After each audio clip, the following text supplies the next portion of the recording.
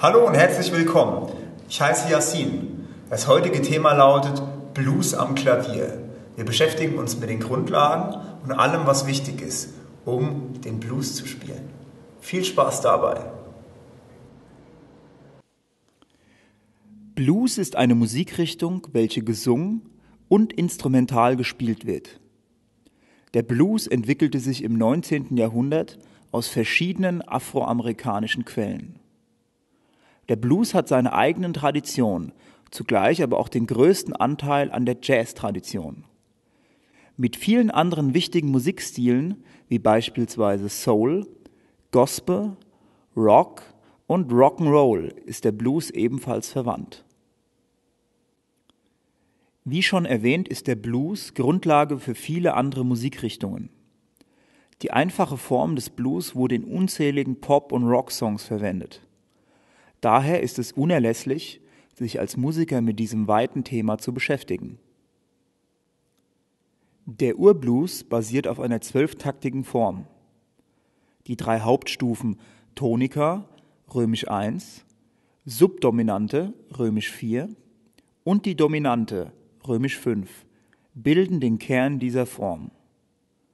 Das Besondere hierbei ist, dass die drei Hauptstufen allesamt als Dominant-Sept-Akkorde auftauchen.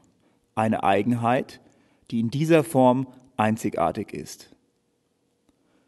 Nachdem der zwölfte Takt gespielt wurde, beginnt die Form wieder von vorne.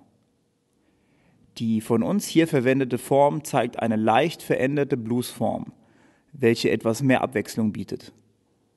Die genaue Reihenfolge seht ihr hier auf diesem Schaubild. Hier seht ihr die Akkorde, die ihr braucht, um den Blues spielen zu können. C7,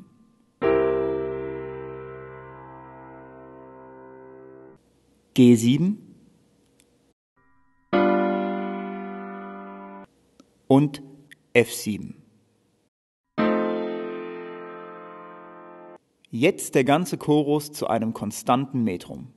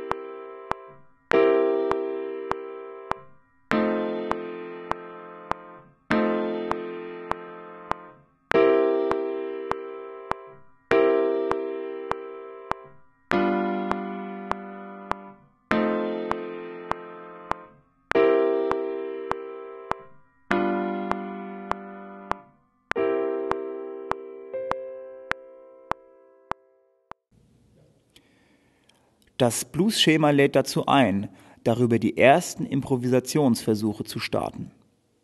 Sehr praktisch ist, dass es zum Blues auch eine passende Blues-Tonleiter gibt. Die Basis dieser Tonleiter ist die Mollpentatonik, eine halbtonlose Fünftonleiter.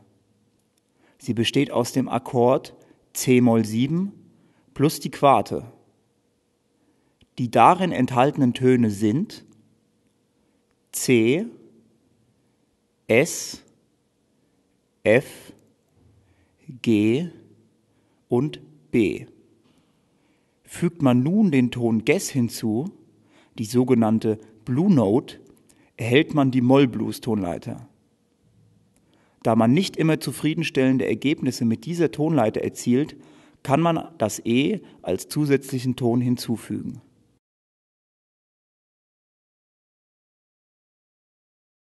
Mit diesen Tönen liegt ihr beim gefühlvollen Improvisieren immer richtig.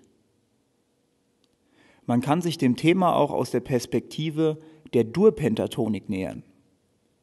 Die halbtonlose Fünftonleiter besteht aus dem Akkord C6 plus die Sekunde.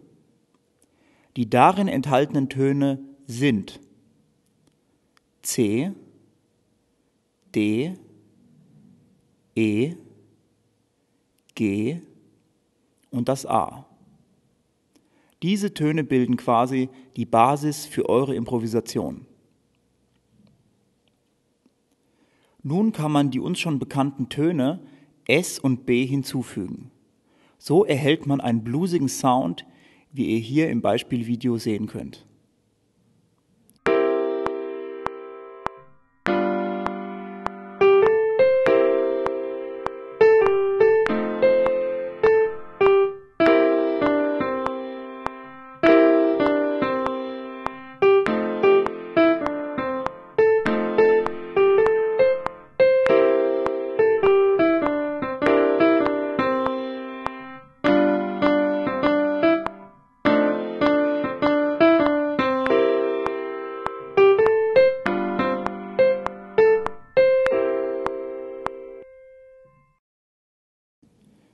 Später kann man die verschiedenen Tonleitern mischen und so für einen abwechslungsreicheren Sound sorgen